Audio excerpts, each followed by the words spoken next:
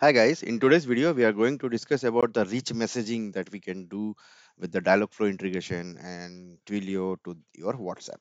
Okay. Um, so so far uh, the setup has been completed. If you're not sure how this uh, message is coming over here, how we have a Twilio, how we have a Dialogflow, please watch the previous videos which are given in the comment section. Okay, the links are given in the comment section. So, okay, uh, we are going back to our code, the same code that we have used previously to send the message uh, or to have interaction between the user who is in WhatsApp and the bot which is in the Dialogflow. Okay, so we are going to continue the same, but this time what we are going to use, we are going to use the rich messaging. So earlier when I say hi, right? So if I say hi over here, so what I get response back is a normal text, right? And uh, when the, we are talking about the business use cases, what why we are not getting the response? I have got the response over here. Okay, yeah.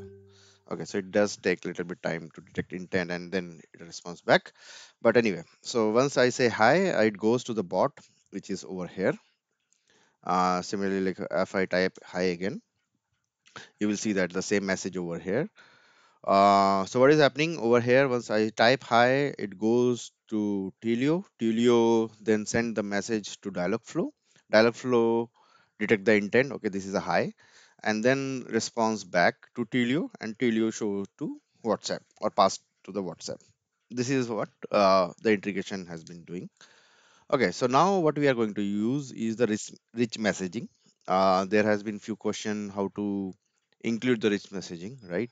So if you see over here, if you want to uh, uh, add the formatting to the text like bold, italic, strike through, and code pre-formatted, okay?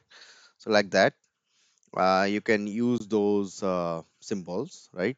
So what I will use is I will modify the bot. Uh, so for the bold, they are saying use star, and uh, what was that? Hello world. How many stars they required? Uh, just a second. Three stars. Three. uh, What is that? Asterisk? No. Three tick. Hello world from bot. I will paste it again and I will click save. Okay.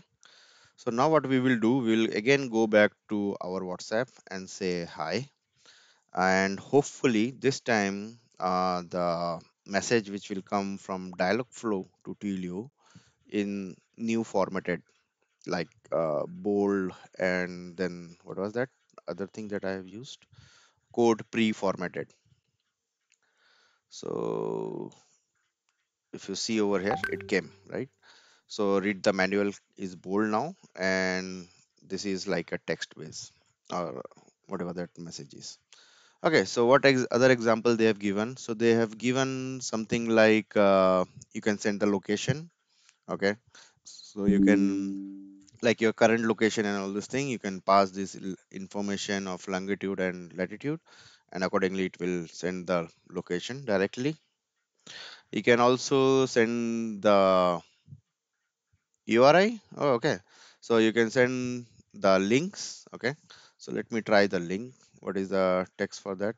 Oh, nothing. Just like that. So I will use, uh, let's say this video link. Okay. And modify the code uh, to learn Twilio WhatsApp integration. Watch here. Okay Now, also I will use something called emoji. Emoji, is that right? Yeah, emoji uh, hand. Uh, so I will go over here and I will try to find something called copy and let's see if it works. I've not tried this. Okay, so let's click save. And once it is saved let's go back over here and let's say hi again. So this time it should give me emoji along with that support the hyperlink or the link. Okay so it does support right? So i got the emoji also and i got the link also and it's also in the preview mode right? What else it does support? Uh so it does support uh, like uh, this is what we do right? Uh, to trigger a whatsapp message you just have to initiate that number over here your phone number and the text is given over here. Then they support the qr code short links all those things. So if you have your own business card and all this thing you can generate the qr code and once it goes to the or it is scanned by the whatsapp right uh, then it will trigger a, another chat where you can directly interact So there are many things which is supported, and there are many things uh, like the buttons. So for buttons, there is a, another video coming up. Okay, so this will be in the next video where you will see that how we can use the buttons. So I will open that link. Uh, meanwhile, uh, there are many things which are in private beta. So if you want more like the card list, quick replies, and media and videos and all those things uh, then do subscribe to this private beta version. Meanwhile, uh, these are the maximum you can do with the rich content which is supported by Twilio for the WhatsApp. And one more thing is the button. This will I will cover in the next video, but uh, in a nutshell, how it will looks like like this. If you want to include your visit to your website or a call or something like that, so that is all supported. Hopefully you like the video. Thank you. Have a nice day.